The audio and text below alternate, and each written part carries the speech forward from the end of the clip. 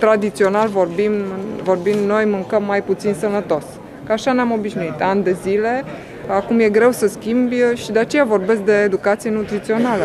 Pentru că totul uh, începe de la cei mici care pot fi învățați să mănânce sănătos și vor alege să mănânce mai sănătos când vor deveni adulți uh, și vor putea să facă această alegere.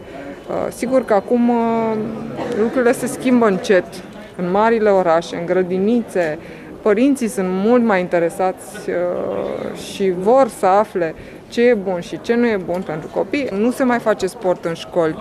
Deja să faci sport nu mai e la modă, copiii stau în fața calculatorului, părinții preferă să îi lasă să stea în fața calculatorului sau televizorului Uh, pentru că n-au timp sau n-au cum să-i ducă la, să facă un sport. La școală nu se încurajează uh, activitățile sportive și cam asta e, e suntem într-un cerc vicios uh, de unde eu sper și încerc să, și cu sprijinul părinților care, repet, sunt dornici să, să facă pași în sensul ăsta, să mai schimbăm ceva.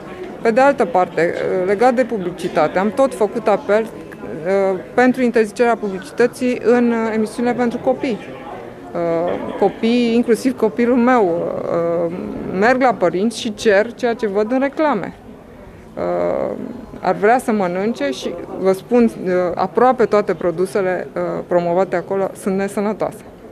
Eu eram o susținătoare a um, um, acelor culori puse pe etichetă, Uh, care nu a trecut, pentru că ar fi fost mult mai clar. Sigur, uh, au existat și contraargumente, cum că suntem subiectivi atunci când punem pe o etichetă că e verde, deci se poate, e sănătos și roșu e nesănătos.